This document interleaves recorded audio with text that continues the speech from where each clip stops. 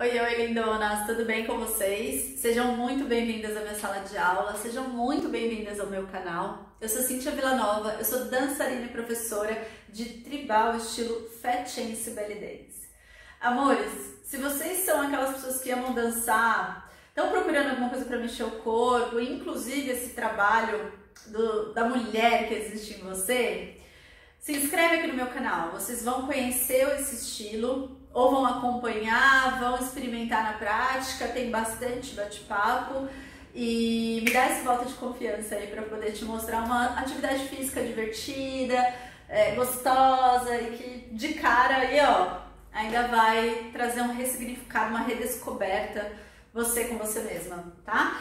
Queria dizer uma coisa para vocês que já estão inscritas aqui maravilhosas, já receberam outro vídeo ou vão receber daqui a pouco.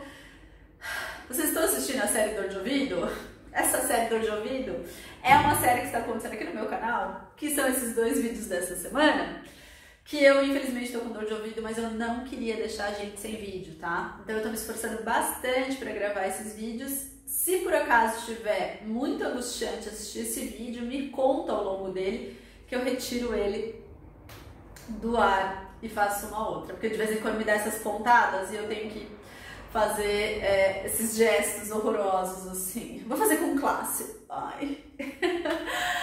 Bom, meu amor, esse tema, o tema dessa aula de hoje é uma reflexão que eu tive e eu queria muito trazer especialmente para quem está começando a dançar, é, que está buscando essa atividade, que está entendendo que a dança pode fazer parte da vida dela e que eu estava aqui refletindo meu papel nisso, né? Porque quando eu escolho por ser professora de dança, não, não basta só eu dizer, gente, agora eu dou aula de dança. A pessoa que vai ser a minha cliente, né, a minha aluna, ela precisa querer dançar, ela precisa organizar a vida dela, ela precisa ir até a aula, né? E o que, que isso tem de importante na minha reflexão? É justamente entender que, porque assim, ó, antes eu achava que a gente, eu aqui e você daí, tinha um papel ali de 50%.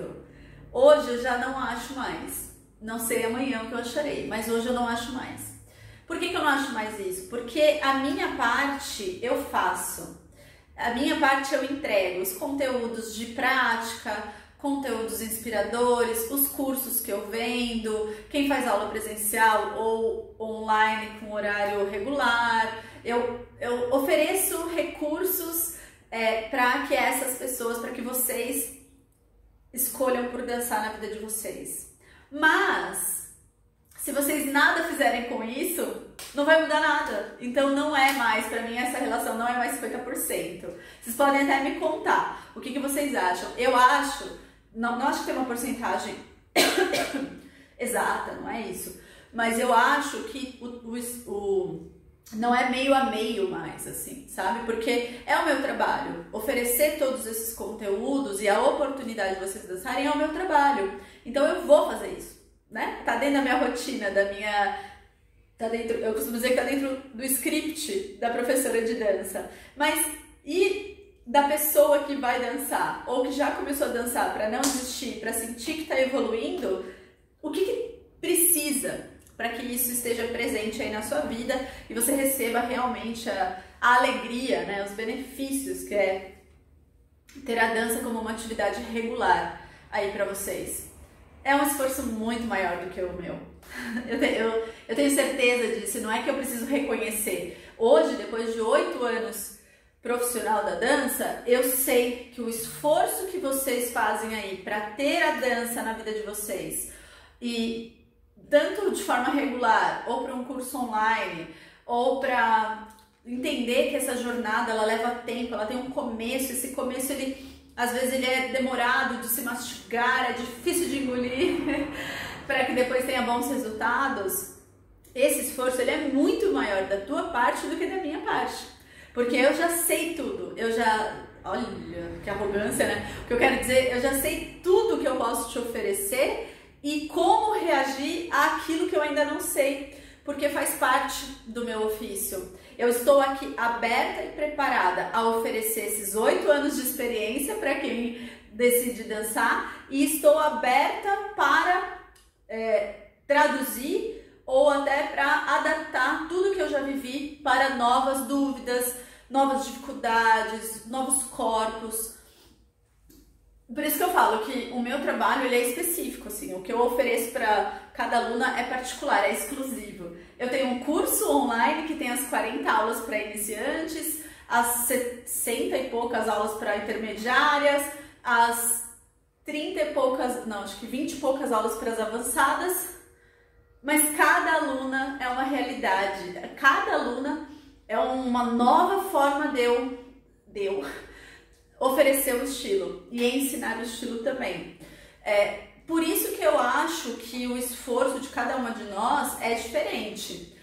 Vocês realmente precisam estar convictas e estarem abertas a colocar isso na vida de vocês, a abrir um momento, eu gosto de dizer que vocês precisam abrir um momento na agenda de vocês, um espaço interno, né? Colocar, criar esse momento, esse espaço interno dentro de vocês, abrir esse espaço para que a dança é, ocupe um lugar aí no coração de vocês e vá realizando essa transformação toda que a gente vive, tanto no corpo físico quanto no corpo emocional, no corpo mental e para algumas pessoas no corpo espiritual também, tá? Não é o meu trabalho, mas eu sei que essas pessoas também acessam essas transformações. E vocês também precisam abrir um espaço físico aí, né? Então, quando vocês vêm dançar aqui no meu espaço físico, legal, tá aqui a sala preparada para receber vocês. Mas quando vocês estão em casa, vocês precisam definir esse local. Algumas alunas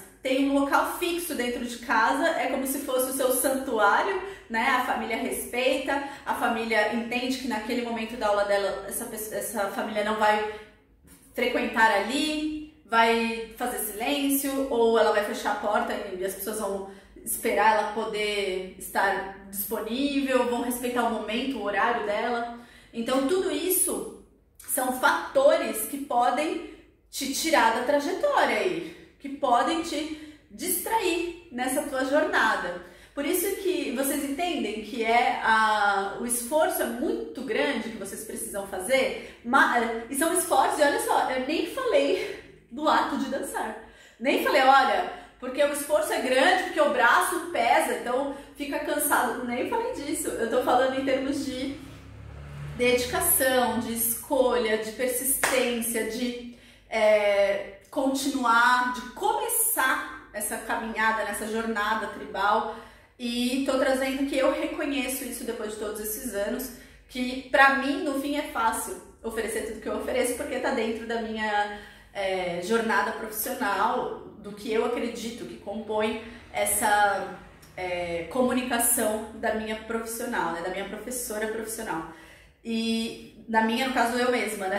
É que a gente costuma dizer isso, né? A minha dançarina, a minha professora são as personas, né? Que eu vou criando ao longo aí desse meu trabalho.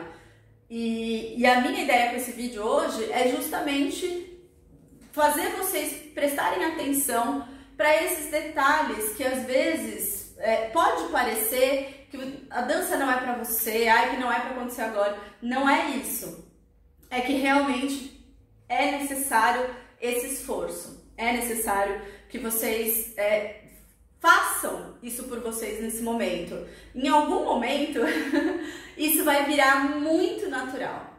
É, hoje eu tenho alunas que não, não conseguem mais se ver sem. É uma. tá dentro da personalidade delas. Tanto a questão de fazer o esforço, de criar um momento para o que elas amam, de abrir o espaço da vida delas para receber uma atividade que vai ajudar elas, que no caso pode ser a dança e pode ser outras, né? Isso que é o bonito da gente se cuidar, da gente trazer pra gente aí a tarefas extras, extras regulares, né? Para que a gente possa melhorar a nossa vida e hoje elas têm como estilo de vida mesmo, né? Tanto ter a dança quanto se oportunizar em coisas que elas são mais felizes. Ou seja, o que, que eu quero? O que, que eu quero com esse vídeo? Eu quero que vocês, vocês não precisam, vocês podem, quem quiser, já entre em contato comigo agora, sentiu que o bichinho da dança picou por aí entre em contato comigo agora que a gente faz acontecer essa jornada tribal. Mas quem ainda está reflexiva, saiba que também faz parte esse momento reflexivo para começar. E para continuar, você também vai precisar se esforçar em algum momento.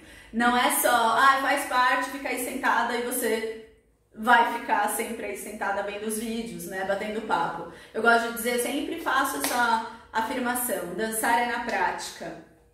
Eu gosto de trazer esses momentos de reflexão. Os vídeos dessa semana, por motivos de dor de ouvido, não tiveram dança, mas eu gosto sempre de finalizar os vídeos com uma prática, com um momento que vocês levantam e dançam. Eu conto com vocês, espero que vocês estejam fazendo isso. Então, se esse é o teu primeiro vídeo aqui no meu canal, se inscreve, deixa teu like para você poder receber os próximos. E você vai ver que sempre tem um momento de prática. Às vezes eu trago alguma clareza sobre os movimentos, às vezes é só uma reflexão, música e dança. É, a gente tem muitas formas de viver a dança na nossa vida, né? E aqui no meu canal é, é uma. Ai, desculpa, gente. É uma exposição dessas diversas formas, né? Que eu tento trazer com base na, na minha história com a dança. Porque vocês aí já têm outras formas que poderiam até contar aqui pra mim como é que tá sendo, né? É, ter a dança na vida de vocês. Assim, aliás, se você já dança há bastante tempo, conta aqui pra gente. Se você tá querendo começar, me conta o que, que pode ser que esteja te impedindo. Conta, não, não tenha medo de expor isso. Muitas vezes quando a gente expõe, a gente ouve melhor a situação e percebe que às vezes dá pra gente transformar aquilo numa outra, de uma outra forma. Ou então a gente fala, ah, nem sei se é tanto assim, vai, talvez não seja. E aí a gente consegue realizar aquilo que a gente está querendo. Bom, meus amores, é isso então. A minha reflexão semanal e inspiração, né? E uma tradução da minha reflexão para uma inspiração para vocês foi essa dessa semana. Espero que tenha feito algum sentido aí para vocês. Não esquece que dançar é algo que transforma a nossa mente como um todo e a gente vai contagiar tudo que está ao nosso redor. É por isso que eu me sinto tão disposta a realizar esses vídeos mesmo, com dor de ouvido, vocês vendo a minha cara contorcendo aí. é, porque são coisas que eu sei que em algum momento isso vai fazer diferença na vida de alguma mulher. Muito grata por vocês terem assistido esse vídeo. Não esqueçam de se inscrever de novo aqui no canal, deixar o like, mandar esse vídeo para alguma amiga que você acha que está precisando dar um up aí na vida dela e me seguir nas outras uh, nas outras redes sociais, tá bom? Tem links aqui por baixo e vocês podem falar comigo por alguma delas. Meu site também está aqui embaixo para quem quiser entrar em contato, tem meu WhatsApp por ali. A gente vai se falando, tá bom? Um super beijo para vocês e até a próxima aula.